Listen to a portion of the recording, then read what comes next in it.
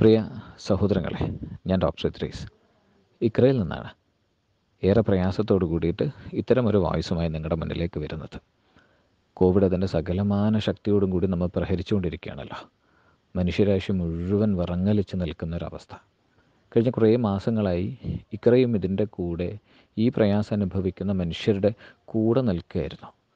എരിഞ്ഞിപ്പാലത്തുള്ള covid സെന്ററിൽ നൂറ് ബെഡുള്ള കോവിഡ് സെന്റർ ജെ ഡി ടിയിൽ പത്ത് ഡയാലിസിസ് മെഷീൻ അതോടൊപ്പം തന്നെ അവിടെയുള്ള ഒരു എഴുപത് ബെഡ് മെയിൻ ഇക്രയിൽ ഗർഭിണികൾക്കും അതുപോലെ മുപ്പതോളം വെന്റിലേറ്ററിലായിട്ട് ക്രിട്ടിക്കൽ കെയർ കോവിഡിന്റെ കാറ്റഗറി സി ഉള്ള ആളുകളെയും കൃത്യമായിട്ട് ചികിത്സിച്ചുകൊണ്ടിരിക്കുകയായിരുന്നു. ചുറ്റുവട്ടത്തുള്ള ബാക്കി സെന്ററുകളിൽ നിന്നൊക്കെ വ്യത്യസ്തമായിക്കൊണ്ട് കഴിഞ്ഞ ആഗസ്റ്റ് മാസം മുതൽ ഇന്ന് വരേക്കും മൂവായിരത്തി അഞ്ഞൂറിലധികം രോഗികളെയാണ് ഇക്ര ചികിത്സിച്ചത്. അതിന്റെ വ്യത്യാസം എന്തേ ചോദിച്ചാൽ ഒരാളോട് പോലും ഒരു നയാ പൈസ പോലും ഇക്കറ ഈടാക്കിയിട്ടുണ്ടായിരുന്നില്ല. ഇതിന് വളരെ കൃത്യമായിട്ട് അതിന്റെ ഒരു മാസം ഇക്കറക്കുള്ള ചിലവ് രണ്ട് കോടി രൂപയായിരുന്നു. അതിന്റെ പകുതിയെങ്കിലും ഗവൺമെന്റിന് ആരോഗ്യ ഇൻഷുറൻസ് നിന്ന് കിട്ടും. ബാക്കി പകുതി തുക നമുക്ക് അസീം പ്രേംജിയുടെ ഒരു വലിയ സഹായം വന്നു ടാറ്റ ഇൻസ്റ്റിറ്റ്യൂട്ട് വന്നു. അതുപോലെ തന്നെ ചുറ്റുവട്ടത്തുള്ള മലബാർ ഗോൾഡിന്റെയും അതേപോലെയുള്ള കുറേ മനുഷ്യസ്നേഹികളുടെ ഒക്കെ സഹായം വന്നതുകൊണ്ടാണ് ഇക്കറ വൃത്തിയായിട്ട് ഈ ഒരു സംഗതി മുന്നോട്ട് കൊണ്ടുപോയത്. നമുക്ക് കാശ് വാങ്ങിക്കായിരുന്നു. പക്ഷേ ആ ആ ഒരു സംഗതിക്കപ്പുറത്തേക്ക് ആരോഗ്യമേഖലയിലുള്ള ഇന്നത്തെ ഈ ഒരു പാൻഡമിക്കിൽ ഇതിന്റെ പ്രയാസം അനുഭവിക്കുന്നവന്റെ കൂടെ നിൽക്കുന്നത് കൃത്യമായ കടമയാണെന്നുള്ള ബോധ്യത്തിന്റെ അടിസ്ഥാനത്തിലാണ്. ഒരു നയാ പൈസ പോലും വാങ്ങിക്കാതെ ഈ മൂവായിരത്തഞ്ഞൂറിലധികം ആളുകളെ ഇക്കറ ചികിത്സിച്ചത്. ഇന്നതിന്റെ എല്ലാ കണക്കുകൂട്ടലുകളും തെറ്റിച്ചുകൊണ്ടാണ് ഇതിന്റെ രണ്ടാം വരവ് മുന്നോട്ടേക്ക് പോയിക്കൊണ്ടിരിക്കുന്നത്. ഇതിൽ തന്നെയാണ് ഞാൻ പറഞ്ഞത്. ഒരു സങ്കടത്തോടു കൂടിയിട്ടാണ് നിങ്ങളുടെ മുന്നിലേക്ക് വരുന്നത്. ഈ ഇരുന്നൂറ് ബെഡ് തികയാതെ ഓരോ ദിനവും ഞങ്ങളുടെ കാഷ്വാലിറ്റിയുടെ മുന്നിൽ വന്ന് ആംബുലൻസിൽ നിന്ന് ഇറക്കാൻ പോലും കഴിയാതെ സങ്കടത്തോടു കൂടി ഈ മനുഷ്യരൊക്കെ ചോദിക്കണ ചോദ്യം. ബെഡില്ല എന്ന് പറഞ്ഞ് തിരികെ പറഞ്ഞയക്കുമ്പോഴേക്ക് ഞങ്ങൾ എവിടേക്കാണ് പോവാന്നൊക്കെ ചോദിച്ചിട്ടുള്ള ആ നിൽപ്പുണ്ടല്ലോ. അത് കാണാൻ കഴിയാതെ ആ ഒരു സങ്കടത്തിന് അറുതി വരുത്തേണ്ടതുണ്ട്. നമുക്കറിയാലോ നാളെ ഞാനാവാം ഇത് കേൾക്കുന്ന നിങ്ങളാവാം. നമ്മളൊക്കെ ഈ ഒരു പ്രതിസന്ധിയുടെ നടുവിലാണ് എവിടെയാണ് എവിടെയാണ് ആളുകൾക്കൊരു അഭയം എന്നറിയാതെ ആർക്കാണ് എപ്പോഴാണ് ഏത് സമയത്താണ് മോശമാവുക ഓക്സിജൻ കിട്ടാതെ അറിഞ്ഞൂടാ. നാട് നാളെ ഏത് അർത്ഥത്തിലേക്കാണ് എത്തുക എന്നൊന്നും നമുക്ക് അറിഞ്ഞൂടാ. ഇക്ര കൃത്യമായിട്ട് തീരുമാനിച്ചു. വയനാട് ഒരു അമ്പത് ബെഡുള്ള ഒരു കോവിഡ് ഹോസ്പിറ്റൽ ഉണ്ടാക്കുകയാണ്.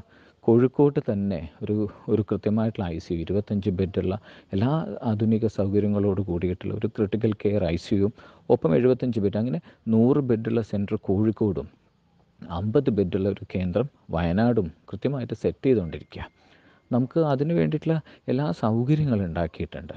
പക്ഷേ ഇപ്പോഴും പ്രതിസന്ധിയാണ്. ഇപ്പോഴും പ്രതിസന്ധി എന്തേ ചോദിച്ചാൽ നമുക്ക് അവിടേക്ക് വേണ്ട വെന്റിലേറ്റർ പതിനഞ്ച് വെന്റിലേറ്റർ വേണം. എച്ച് എഫ് എൻ സി വേണം ബൈപ്പാപ്പ് വേണം മോണിറ്റേഴ്സ് വേണം ബെഡ് വേണം. ഇതൊക്കെ എത്രയും വേഗം സ്വരൂപിക്കാൻ കഴിഞ്ഞാൽ മാത്രമാണ് അത് സ്വരുക്കൂട്ടി കഴിഞ്ഞാൽ മാത്രമാണ് നമുക്കിത് ഈ ആഴ്ച തന്നെ ആരംഭിക്കാൻ വേണ്ടി കഴിയുക. മുട്ടാനുള്ള വാതിലുകളൊക്കെ ഇക്ര മുട്ടിയിട്ടുണ്ട്. ഇക്കറയും നിങ്ങൾക്കറിയാലോ? ഒരിക്കലും നാളേക്ക് മനുഷ്യരോട് ആ അർത്ഥത്തിലുള്ള കാശ് വാങ്ങിച്ച് ഈ ഒരു മേഖലയിൽ നിന്ന് ലാഭം ഉണ്ടാക്കുക എന്നുള്ളൊരു കൊതി കാലം വരെ ഇക്കറക്കില്ലാതിരുന്നത് കൊണ്ട് തന്നെ ഒന്നും മാറ്റിവെക്കപ്പെട്ടിട്ടില്ല. അതുകൊണ്ട് തന്നെ ഇതിലേക്ക് വേണ്ട ഒരു ഒരു പുതിയൊരു എമൗണ്ട് കണ്ടെത്താൻ ഇക്കറക്ക് കഴിയണമില്ല. അതുകൊണ്ടാണ് ഞാൻ പറഞ്ഞതുപോലെ പ്രയാസത്തോട് കൂടിയിട്ട് തന്നെയാണ് നിങ്ങളുടെ മുന്നിലേക്ക് കൈ നീട്ടണത്. എല്ലാവരും സ്വയം ശ്രദ്ധിക്കുന്നതും സൂക്ഷിക്കുന്നതോടും ഒപ്പം തന്നെ നമ്മുടെ കൂടപ്പറപ്പുകൾ. ഇനിയെങ്കിലും അവരുടെ കണ്ണുനീര് ആ അർത്ഥത്തിലേക്ക് മുഴുവൻ പേരെയും നമുക്ക് ചികിത്സിച്ച് മാറ്റിയെടുക്കാൻ നമുക്ക് കഴിയില്ല. പക്ഷേ നമ്മുടെ അടുത്ത് വരുന്ന ആളുകൾക്ക് ആ രീതിയിൽ അവരുടെ പ്രയാസങ്ങൾ ദൂരീകരിച്ച് കൊടുക്കണമെങ്കിൽ ഉണ്ടാവേണ്ടതുണ്ട്. ഈ പറയുന്നത് പോലെ നിങ്ങളുടെ കയ്യിൽ എന്തുണ്ടാവട്ടെ? ഒരു സംഘമായിട്ടോ വ്യക്തിയായിട്ടോ സംഘടനകളായിട്ടോ ഈ പറയപ്പെടുന്ന വെന്റിലേറ്ററിനും എച്ച് എഫ് എൻ സിക്കും ബൈപ്പാപ്പിനൊക്കെ വേണ്ടിയിട്ട് നമ്മൾ ഇക്കറ പ്രതീക്ഷിക്കുന്നത് ഒരു നാല് കോടി രൂപയുടെയെങ്കിലും എക്യുപ്മെന്റ്സ് നമുക്ക് അർജന്റായിട്ട് ഈ ഒരാഴ്ചയിലേക്ക് വേണം. ഇത് കേൾക്കുന്ന ആളുകൾ ഞങ്ങളൊക്കെ കോൺടാക്ട് ചെയ്യും. എന്നെയോ എക്സിക്യൂട്ടീവ് ഡയറക്ടർ അൻവർ ഡോക്ടറെയോ ആരെ വേണമെങ്കിലും നിങ്ങൾക്ക് കോൺടാക്ട് ചെയ്യും. എന്തേ ചെയ്യാനാവുക എന്ന് നോക്കുക. ആ മനുഷ്യരാശി അങ്ങനെ ആ അർത്ഥത്തിലേക്ക് വിറങ്ങലിച്ച് നിൽക്കുന്ന ഈ ഒരു സമയത്ത് നമുക്ക് ഒരുമിച്ചൊന്ന് കൈകോർത്ത് പിടിക്കാം. ഒന്ന് നോക്കുക നമുക്ക് എന്തേ ചെയ്യാനാവുക എന്നുള്ളൊരു ആലോചന നടത്തുക. ആ ആലോചന വളരെ പോസിറ്റീവ് ആണെങ്കിൽ ഇതിന്റെ അക്കൗണ്ടിലേക്ക് നിങ്ങൾക്ക് ചെയ്യാവുന്ന അത്രയും നിങ്ങൾ ആ ഒരു സംഗതി ചെയ്യുക. നമുക്ക് ഇനിയും ഈ വരുന്ന മുഴുവൻ മനുഷ്യർക്കും ഈ അർത്ഥത്തിലൊക്കെ തീർത്തും സൗജന്യമായിട്ട് അവർക്ക് ഇതേ ചികിത്സ കൃത്യമായിട്ട് തന്നെ കൊടുക്കാൻ വേണ്ടി നമുക്ക് കഴിയേണ്ടതുണ്ട്. ദൈവം നമ്മെ അനുഗ്രഹിക്കട്ടെ.